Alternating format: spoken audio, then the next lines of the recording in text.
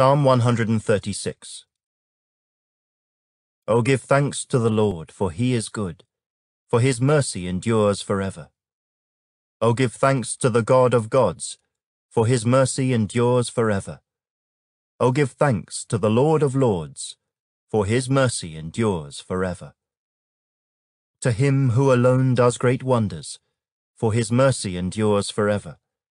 To him who by wisdom made the heavens, for his mercy endures forever. To him who laid out the earth above the waters, for his mercy endures forever. To him who made great lights, for his mercy endures forever. The sun to rule by day, for his mercy endures forever. The moon and stars to rule by night, for his mercy endures forever. To him who struck Egypt in their firstborn, for his mercy endures forever, and brought out Israel from among them, for his mercy endures forever. With a strong hand and with an outstretched arm, for his mercy endures forever.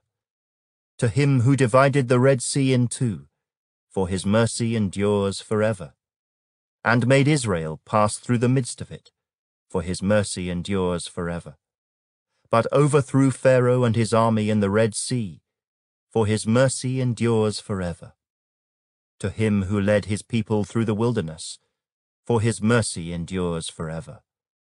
To him who struck down great kings, for his mercy endures forever. And slew famous kings, for his mercy endures forever.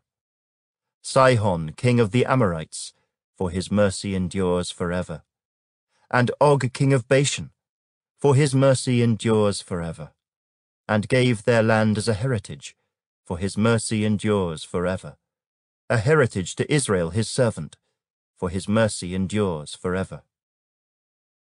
Who remembered us in our lowly state, for his mercy endures forever, and rescued us from our enemies, for his mercy endures forever.